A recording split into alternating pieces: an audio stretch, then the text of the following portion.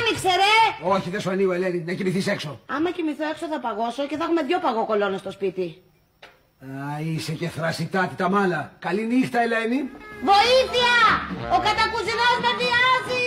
Χριστός και Παναγία. Βοήθεια! Μου σκίζει το βρακί! Σάτυρε! Μην το σκίζεις, είναι ακριβό! Πάψε, ηλίθεια.